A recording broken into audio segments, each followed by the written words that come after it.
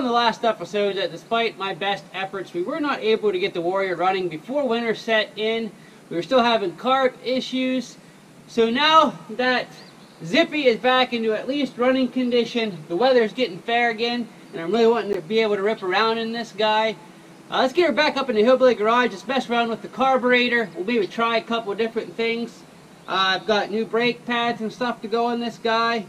So let's get her up there and get back to work on Project Wounded Warrior. And hopefully we'll get her running by the end of this upload.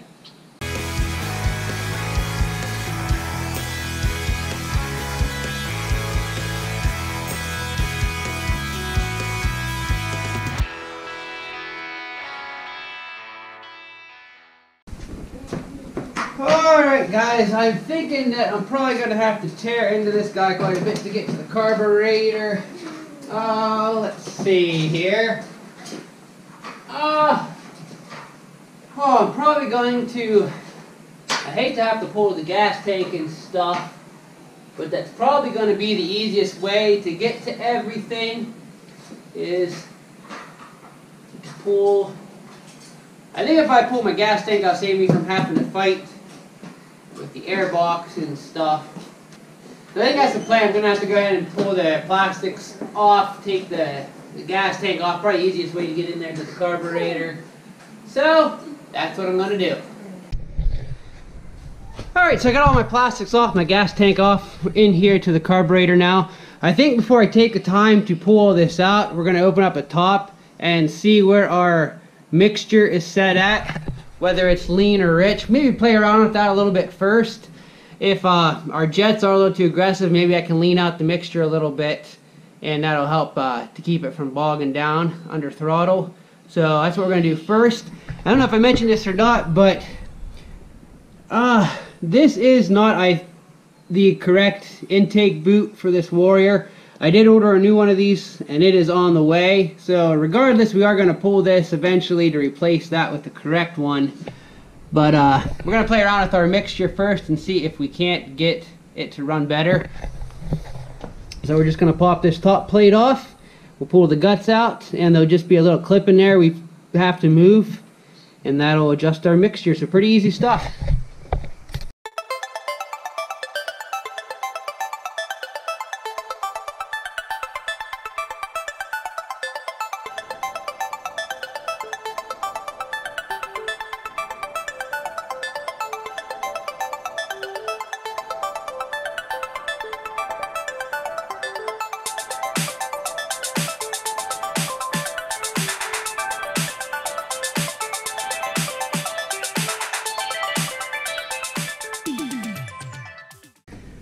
Alright guys, here's our jet needle. As you can see, this little clip right here is what determines your air fuel mixture, whether it's rich or lean.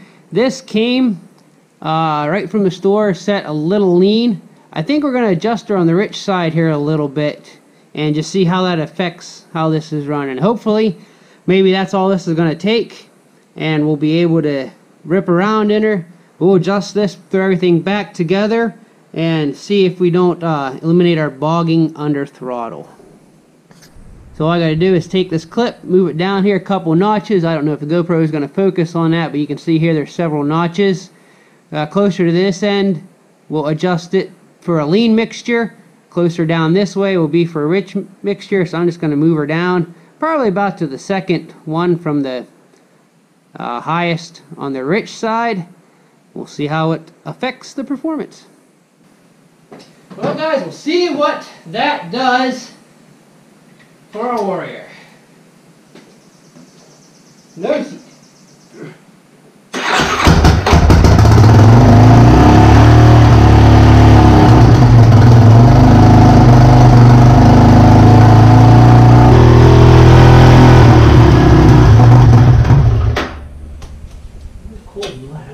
Back her up there out of the carport to view myself out. Alright, now we're going at the end of the carport so we don't asphyxiate ourselves here on the fumes. Gonna find some place to stick my camera.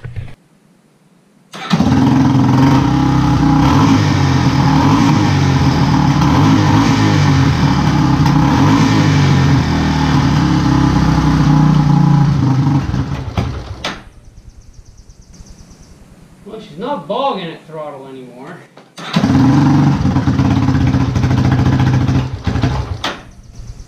My idle adjusted.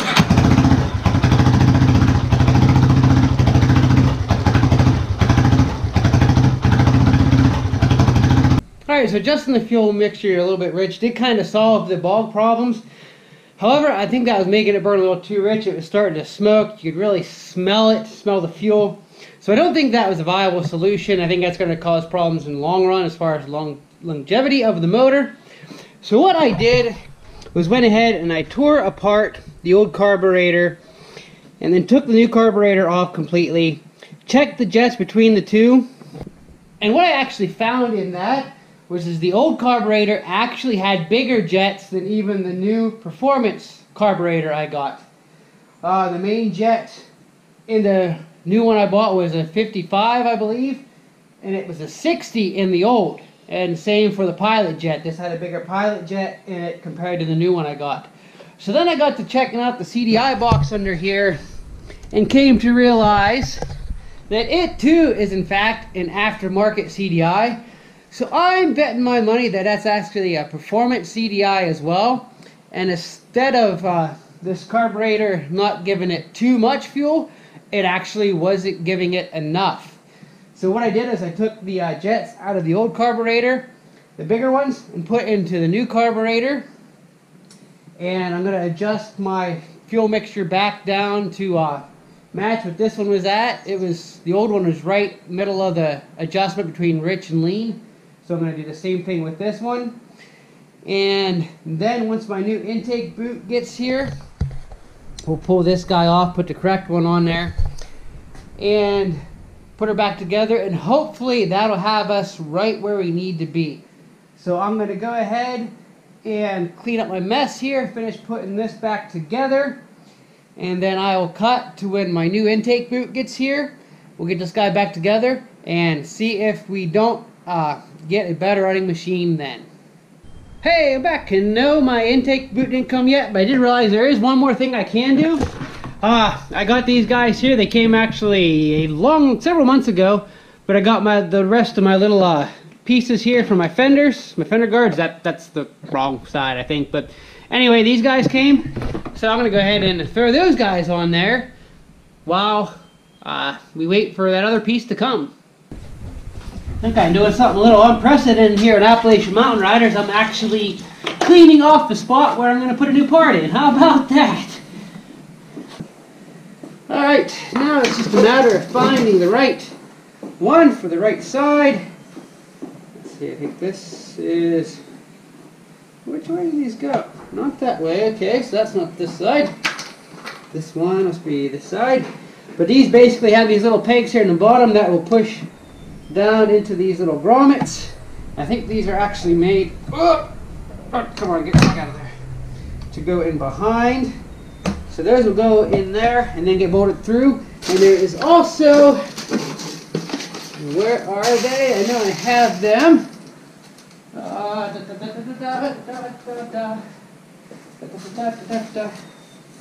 Here's one. Uh, and it's the other side. Here's the other side little support brackets here that bolt right here like so underneath. I don't know if you guys can see that or not, but those will go there. And behind here, obviously, of course. And then that'll act as a little support there for that as well.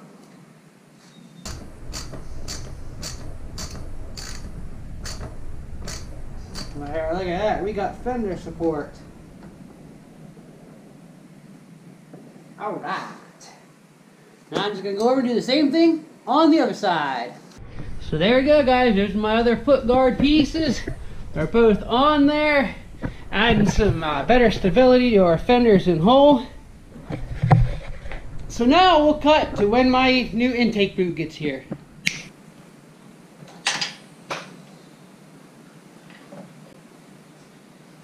Oh, jeez. Oh, you guys scared me. I'm supposed to be back yet. I haven't got my intake manifold. But I guess now since you're here, uh, what I'm working on is my uh, brakes. My new brake pads did come. These guys are pretty much down to nothing, which I'll show you once I pull them off.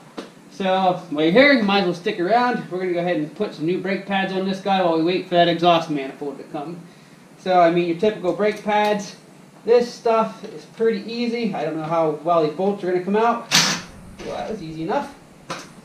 See, there's one mounting bracket there. That might be seized on there pretty good. I don't know. I'm to move this spacer right now before my wheel before I lose it. So put it right there. Okay, where's the other guy? Back here on the bottom. Alright, so that should be loose. Alright, now to remove the pads, these actually have uh, pad retaining bolts that actually kind of hold the brake pad in. So what we want to do is loosen these two bolts here on the back side. Hopefully they come out without stripping because they're Allen's. Oh no, they're just going to strip. No, no, no, no, we don't want that.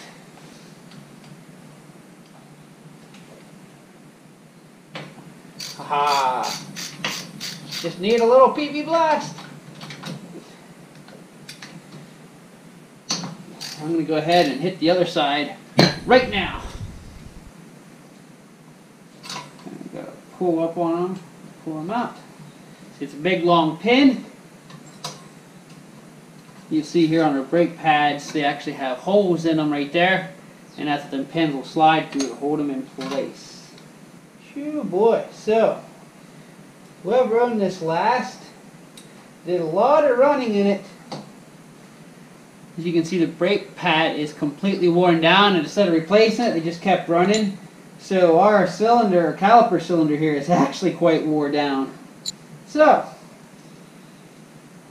Definitely, definitely got a lot of neglect over the years, poor guy. Oh my. I mean, wow. Look at that. Look at how that caliper piston is. That is just unexcusable. This is just unacceptable. Unacceptable. This isn't going to work. If I try to use this with uh, the new brake pads, they're just going to wear uneven as well and I'm going to have the same problem. So I think what I'm going to do is I'll check the other side, see how it is. I don't know, maybe I can get just a rebuild kit for these calipers. If that's the case, no big deal. But if not, then I will have to get new brake calipers for this guy. Small as they are, they shouldn't be that expensive. But uh, I'm going to go ahead and check the other side here put this back in to hopefully keep some of the brake fluid from running out that I just filled. Uh, see what kind of shape it's in, and once I do, well, I'll check back in with you. I'll let you know if I got to replace just this one side or both sides. Well, guys, good news is that although the other side, the pads are still completely shot and we're still rubbing, it was not enough to damage our piston and our caliper yet on this side. So it looks like I'm only going to have to worry about getting the one side over there. So I'm going to hit the computer, see if I can't find just a, like a caliper rebuild kit, which they might have. If not, I'll just have to get a whole new caliper for that side. But it is what it is. We'll go ahead and throw our pads in this side. We can go ahead and change our back pads. And maybe by the time that's done, our intake manifold will be here and we can throw the carburetor back on and at least see if this guy's going to run and idle smooth now. And if you're curious, here's just a quick look at how the brake pads on these work. As you can see here, they slide down in place, and then the little pins just push through the bottom two holes there. And of course, I'll put the one in on the other side there, and they'll push clear in through on that, and that holds them in place.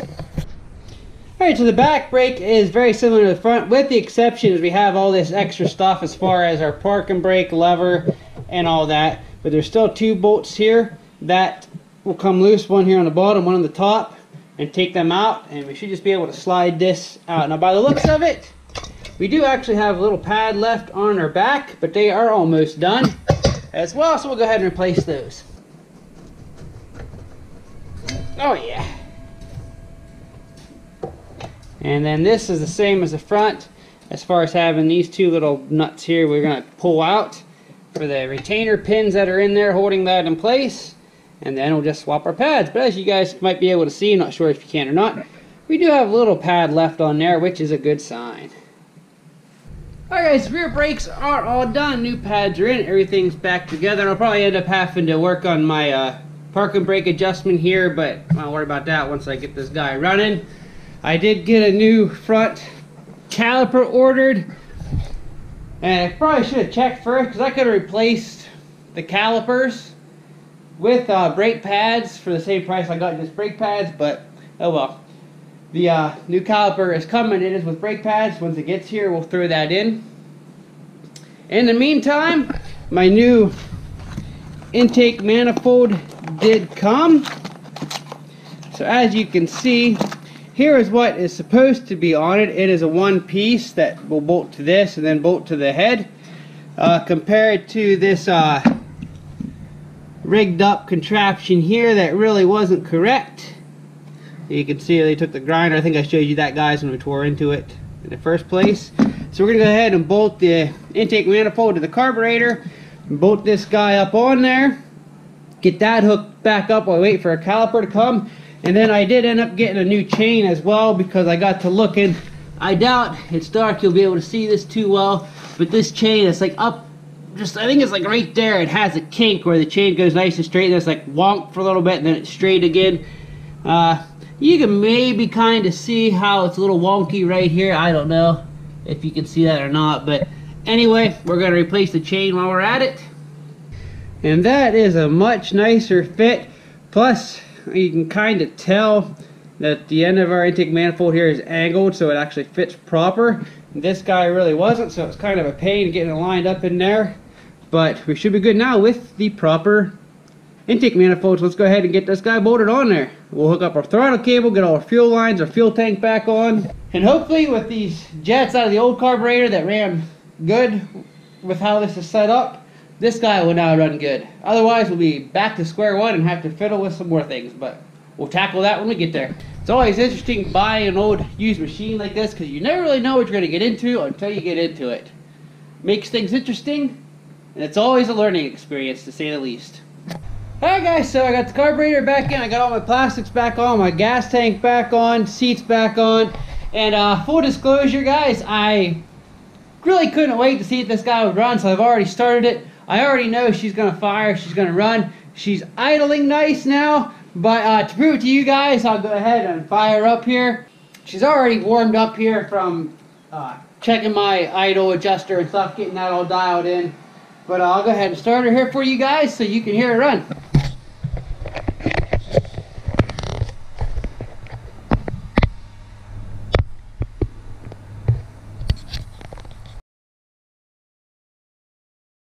Alright guys, so as you saw,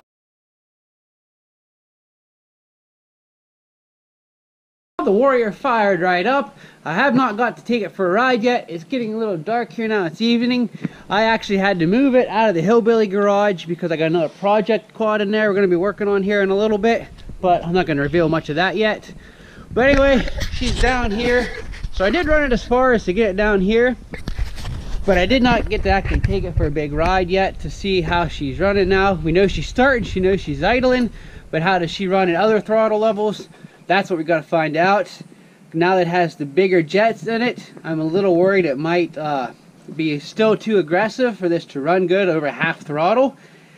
And we may end up having to stick the smaller main jet back in, but that's what this ride's for, to figure out how she's going to run.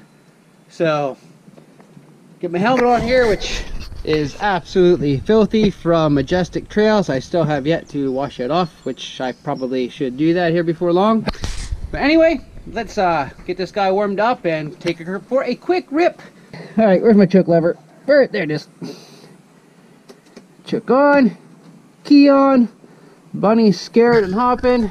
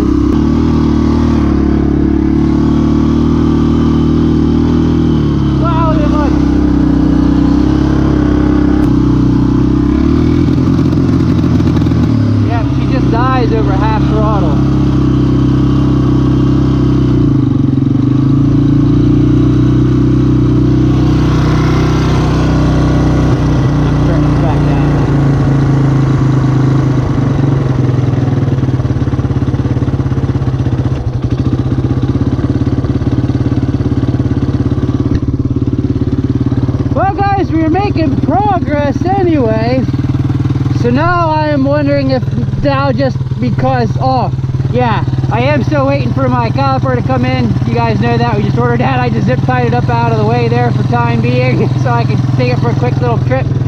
Uh,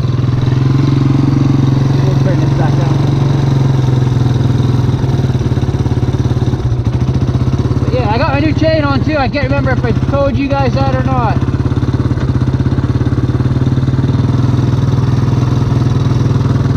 My new chain is in. She's good. Uh, and I don't know if I mentioned this or not to you guys. Here, hold on, let me kill this. So you guys can actually hear me. Someone did say about the stock air boxes on these are very, very, very restrictive.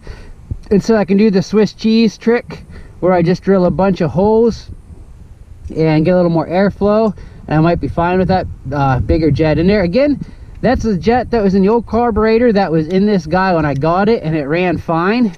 So I don't know why the bigger jets would be screwing it up now, but there's something going on there that I am going to have to do a little research on and see if I can't figure out what is going on.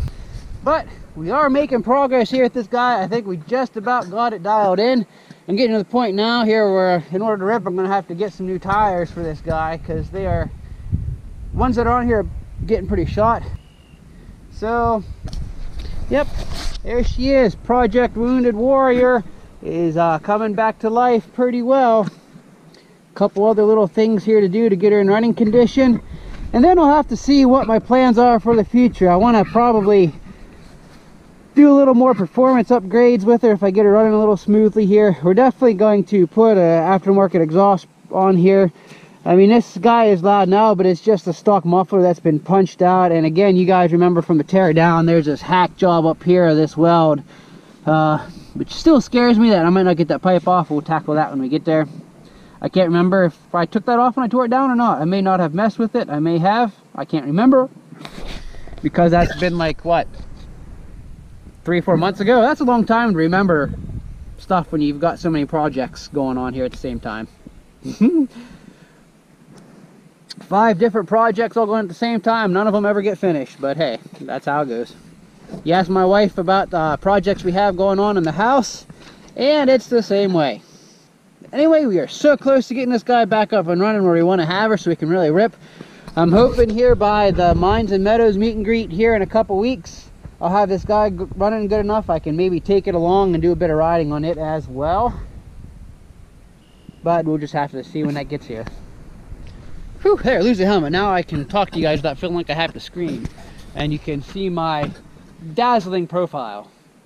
So I hope you guys enjoy these project videos like this Warrior, like on uh, Little Zippy. I enjoy working on this stuff and I enjoy making the videos and sharing it with you. So if you like these kind of projects, let me know in the comments below and we're going to just keep cracking them out one after another.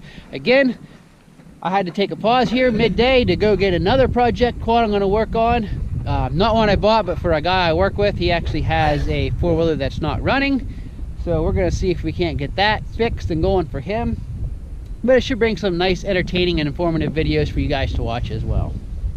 So again, don't forget to like before you leave, subscribe if you're new to my channel, this is the first time joining me, hit that little notification down there, and don't forget your support is highly appreciated, whether it's through my Teespring store, which you can get to by clicking up here, supporting me on Patreon, which gets you access to exclusive content, or simply watching my videos, liking them, and commenting below. All your support is highly appreciated, and it helps to ensure that I can continue doing projects like Wounded Warrior here in the future for your guys' entertainment. I'll let you guys enjoy the rest of your evening or day, whatever time it is, whenever you're watching this video. And until next time, keep on riding.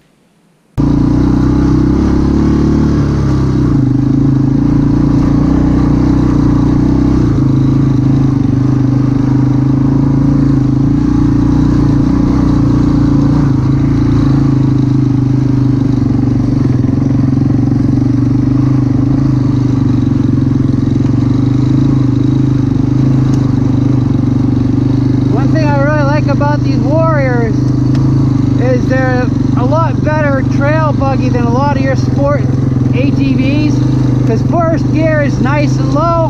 You can just put her in first and just creep down these slow moving trails without have to be constantly on the the clutch which not only saves wear and tear on your clutch it makes it a lot easier and a lot more enjoyable riding too.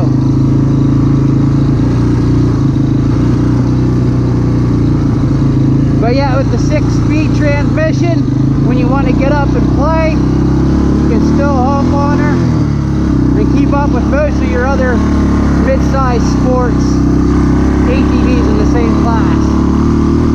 A really nice overall machine.